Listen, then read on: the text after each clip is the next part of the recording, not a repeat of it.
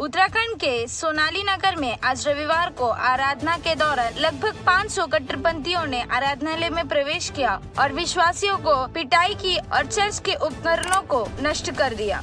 एक 21 वर्षीय युवक की हालत नाजुक बनी हुई है। राहगीर एस एन नथनील सिंह और उनकी पत्नी को स्थानीय आरएसएस और बजरंग दल ने गिरफ़्तार करके उन्हें सिविल लाइन थाना रुड़की में भेज दिया गया है। और भी खबर के लिए हमारे साथ बने रहिए।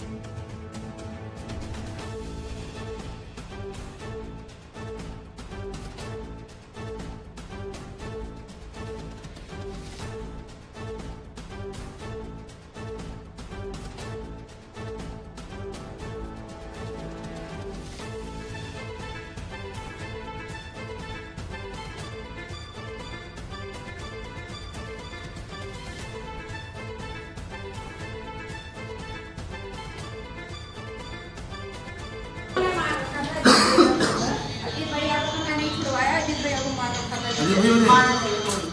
रानी जी का कर वो पुलिस वाले से बात करे। हाँ? पुलिस वाले